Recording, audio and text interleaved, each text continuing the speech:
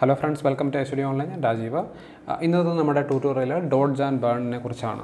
Dodging and burning എന്ന് പറഞ്ഞാൽ നമ്മുടെ ചിത്രത്തിന് ഒരു ടി ത്രീ ഡയമെൻഷണൽ ഫീൽ കൊണ്ടുവരാനായിട്ട് നമ്മൾ ചെയ്യുന്ന ഒരു പ്രോസസ്സാണ് ഡോഡ്ജിങ് ആൻഡ് ബേണിംഗ് എന്ന് പറയുന്നത്.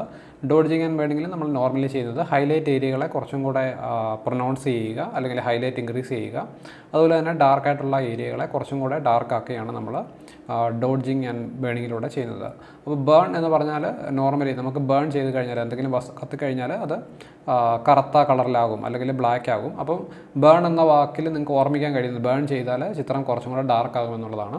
അപ്പോൾ അതിന്റെ നേരെ ഓപ്പോസിറ്റാണ് ഡോഡ്ജ് എന്ന് പറയുന്നത്. ഡോഡ്ജ് എന്ന് പറഞ്ഞാൽ കുറച്ചും കൂടെ വൈറ്റ് ആക്കുക അല്ലെങ്കിൽ ഒരു ബ്രൈറ്റ്നസ് കൊണ്ടുവരിക എന്നാണ് നമ്മൾ ഉദ്ദേശിക്കുന്നത്. അപ്പോൾ നമുക്കിത് എങ്ങനെ ചെയ്യാമെന്ന് നോക്കാം.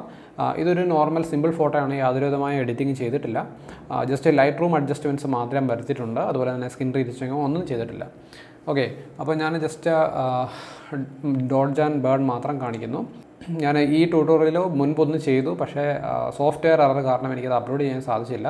അപ്പോൾ അതുകൊണ്ട് ഞാൻ ഒന്നും കൂടെ ചെയ്യുകയാണ്. സോഫ്റ്റ്വെയർ എനിക്ക് തോന്നുന്നു ഈ സ്ക്രീൻ റെക്കോർഡർ വഴി ചെയ്യുന്ന വീഡിയോസ് ഒരു പത്ത് മിനിറ്റിന് കൂടി കഴിഞ്ഞാൽ സോഫ്റ്റ്വെയർ ക്രാഷ് ആകുന്നുണ്ട് അപ്പോൾ എനിക്കത് അപ്ലോഡ് ചെയ്യാൻ പറ്റുന്നില്ല. അല്ലെങ്കിൽ എഡിറ്റിംഗ് കംപ്ലീറ്റ് ചെയ്യാൻ സാധിക്കുന്നില്ല.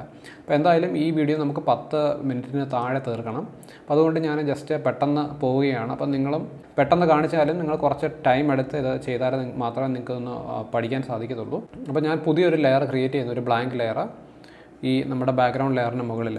നമ്മൾ നോർമലി ചെയ്യുന്ന പോലെ നിങ്ങൾക്ക് ബാക്ക്ഗ്രൗണ്ട് ലെയർ ഒന്ന് ഒരു കോപ്പി എടുത്ത് വെക്കാം. ഓക്കെ. അപ്പം നമ്മൾ പുതിയ ഈ ബ്ലാങ്ക് ലെയറിൽ വന്നു. അതിനുശേഷം എഡിറ്റിൽ വരിക ഫിൽ എന്ന് പറയുന്ന ഓപ്ഷൻ സെലക്ട് ചെയ്യുക.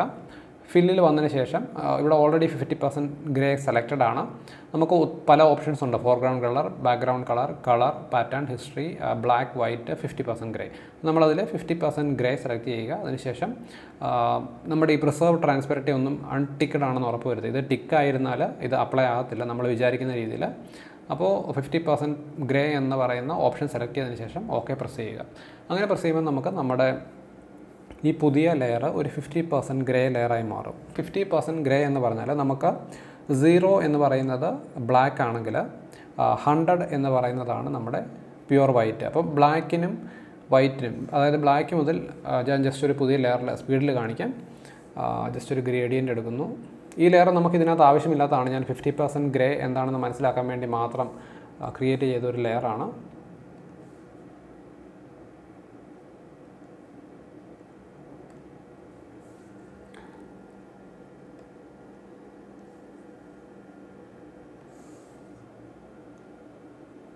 ഓക്കെ ഞാൻ ഇതാ ജസ്റ്റ് ഒരു ലെയർ ക്രിയേറ്റ് ചെയ്തു. നമുക്ക് ഇത് ഡോഡ്ജിങ് ആൻഡ് ബേണിങ്ങിനകത്ത് ഇല്ലാത്ത കാര്യമാണ്. അപ്പോൾ ഫിഫ്റ്റി പെർസെന്റ് ഗ്രേ എന്താണെന്ന് പറയാൻ വേണ്ടി മാത്രം ചെയ്യുന്നതാണ്. ഓക്കെ ഞാനിങ്ങനെ ഒരു ഞാനിങ്ങനെ ഒരു ലെയർ ക്രിയേറ്റ് ചെയ്തു. ഈ ലെയറിൽ ഞാനൊരു ഗ്രേഡിയന്റ് ക്രിയേറ്റ് ചെയ്തു. അതായത് വൈറ്റിൽ നിന്ന് ബ്ലാക്കിലേക്ക് അല്ലെങ്കിൽ ബ്ലാക്കിൽ നിന്ന് വൈറ്റിലേക്ക് എങ്ങനെ വേണമെങ്കിലും നിങ്ങൾക്ക് എടുക്കാം. ഉള്ളൊരു ഗ്രേഡിയന്റ് ഞാൻ ക്രിയേറ്റ് ചെയ്തു. അപ്പോൾ നിങ്ങൾക്കറിയാം ഒരു സൈഡിൽ ബ്ലാക്കാണ് ബ്ലാക്കിൽ നിന്ന് പയ്യെ ട്രാൻസിഷൻ ചെയ്ത് പ്യുവർ വൈറ്റിലേക്ക് വരുന്നത്. അതായത് നല്ല ബ്ലാക്കിൽ നിന്ന് ബ്ലാക്കിന്റെ ക്വാണ്ടിറ്റി കുറഞ്ഞ് കുറഞ്ഞ് വന്ന് നല്ലൊരു പ്യുവർ ബ്ലാക്ക് വൈറ്റിലേക്കാണ് ഇത് വരുന്നത്. നമുക്ക് ഈ പൂർണമായും ബ്ലാക്ക് ആയിട്ടുള്ള ബ്ലാക്ക് ആയിട്ടുള്ള ഏരിയയെ ഹൺഡ്രഡ് പെർസെന്റേജ് ബ്ലാക്ക് എന്ന് പറയാം. അതുപോലെ തന്നെ വൈറ്റിന് നമുക്കൊരു സീറോ എന്ന് പറയുന്ന വാല്യൂം കൊടുക്കാം. അപ്പോൾ സീറോ മുതൽ നൂറ് വരെയുള്ള വാല്യൂകളാണ് ഇതിന് നടുക്ക് വശത്തായിട്ടുള്ള ഈ പോർഷനിൽ നിങ്ങൾക്ക് കാണാൻ സാധിക്കുന്നത്. അപ്പോൾ ഇതിന്റെ എക്സാക്റ്റ് മിഡിൽ പോയിന്റ് അതായത് ബ്ലാക്കും ബ്ലാക്കും അല്ല അല്ലെങ്കിൽ വൈറ്റും അല്ല ഈ ബ്ലാക്കിനും വൈറ്റിനും ഇടയ്ക്കുള്ള ഒരു എക്സാക്റ്റ് പോയിന്റിനാണ് നമ്മൾ ഫിഫ്റ്റി പെർസെന്റേജ് ഗ്രേ എന്ന് പറയുന്നത്. ഓക്കെ അപ്പോൾ നമ്മൾ ഈ നമുക്ക് ഈ ലെയർ ആവശ്യമില്ല. ജസ്റ്റ് എന്താണ് ഫിഫ്റ്റി പെർസെന്റ് ഗ്രേ എന്ന് പറയാൻ വേണ്ടി നിങ്ങൾ കാണിച്ച ലെയറാണ് അപ്പോൾ ജസ്റ്റ് ഈ ലെയർ അങ്ങ് ഡിലീറ്റ് ചെയ്ത് കളയുകയാണ്. നമ്മുടെ ട്യൂട്ടോറിയലിന് ആവശ്യമില്ലാത്ത ലെയറാണ് അപ്പോൾ ഇതാണ് ഫിഫ്റ്റി പെർസെന്റേജ് ഗ്രേ നമ്മളിപ്പോൾ ഈ ലെയറിൽ ഫിഫ്റ്റി പെർസെന്റ് ഗ്രേ കൊണ്ട് നമ്മൾ ഫില്ല് ചെയ്തു. ഇനി നമ്മൾ ചെയ്യുന്നത് ഈ ലെയറിന്റെ ബ്ലെൻഡിങ് മോഡ് ചേഞ്ച് ചെയ്ത് ഓവർലേ ആക്കുന്നു. ഓക്കെ ഓവർലേ ആക്കി കഴിയുമ്പോൾ ഈ ലെയർ മുകളിലുണ്ടെങ്കിലും നമുക്ക് അടിയിലുള്ള ലെയർ കാണാം.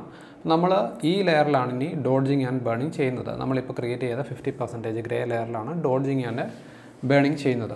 അപ്പോൾ നമ്മൾ ഡോഡ്ജിങ് ആൻഡ് ബേണിംഗ് ടൂൾ ഇതാണ്. ഇവിടെ ഒരു കൈയുടെ സിമ്പിൾ അല്ലെങ്കിൽ നിങ്ങൾ കാണുന്നത് ചിലപ്പോൾ ഒരു ഇതുപോലുള്ളൊരു സിമ്പിളായിരിക്കും ഡോഡ്ജ് ടു സിമ്പിളോ അല്ലെങ്കിൽ ബേൺ സിമ്പിളോ ആയിരിക്കും. ഞാൻ എന്തായാലും ഡോഡ്ജ് സിമ്പിൾ സെലക്ട് ചെയ്യുന്നു. ഡോഡ്ജ് ചെയ്യുമ്പോഴേ ഞാൻ പറഞ്ഞു നമ്മളത് വൈറ്റൻ ചെയ്യുകയാണ് ചെയ്യുന്നത്. ഒരു പർട്ടിക്കുലർ ഏരിയ അപ്പോൾ ഫിഫ്റ്റി പെർസെന്റ് ഗ്രേഡ് നമ്മൾ വൈറ്റിനും ചെയ്താൽ കുറച്ച് ബ്രൈറ്റ് ആകും. അതുപോലെ തന്നെ ബേൺ ചെയ്യുന്ന ഏരിയ അതായത് ഡാർക്ക് ചെയ്യുന്ന ഏരിയ കുറച്ച് ഡാർക്ക് ആവും. അപ്പോൾ നോർമലി നമ്മൾ ഡോഡ്ജിങ് ആൻഡ് ബേണിങ് ചെയ്യുന്നത് ഹൈലൈറ്റ്സ് ഉള്ള ഏരിയയിലാണ് നമ്മൾ കുറച്ചും കൂടെ ഒന്ന് വൈറ്റ് അപ്ലൈ ചെയ്യുന്നത്. ഞാൻ ജസ്റ്റ് സ്പീഡിൽ ചെയ്തു പോവുകയാണ്. അതുപോലെ തന്നെ ഓരോ ഏരിയയ്ക്ക് അനുസരിച്ച് നമ്മൾ ബ്രഷിന്റെ സൈസ് വലുതാക്കി കൊടുക്കേണ്ടതാണ്.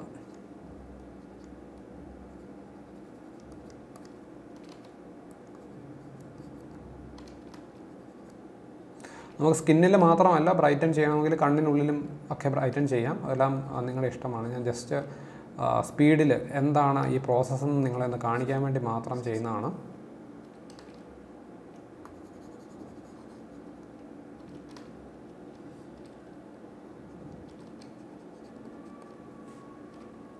അതുപോലെ തന്നെ മുടിയിലും നമുക്ക് ചെയ്യാം ഇത്.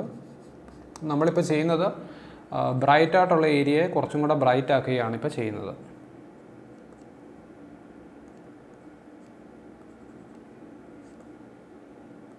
കുറച്ചും കൂടെ ഒരു ഡയമെൻഷൻ നമ്മുടെ ചിത്രത്തിൽ കിട്ടാനാണ്. ഇനി ഞാൻ ഡാർക്ക് ആയിട്ടുള്ള ഏരിയയെ കുറച്ചും കൂടെ ഡാർക്ക് ആക്കുന്നു.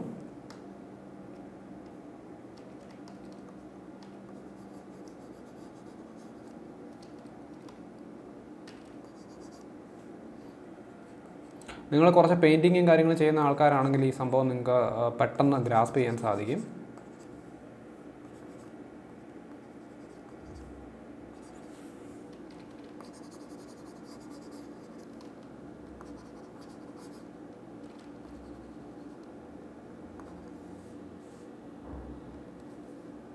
ഞാനിപ്പം ഡോഡ്ജും ബേണും എനിക്ക് ചില ഏരിയകളിൽ ഡോഡ്ജ് ചെയ്യണമെന്ന് തോന്നുന്നിടത്ത് ഡോഡ്ജ് ചെയ്യുന്നുണ്ട് അതുപോലെ ബേൺ ചെയ്യണമെന്ന് തോന്നുന്നിടത്ത് ബേൺ ചെയ്യുന്നുണ്ട്.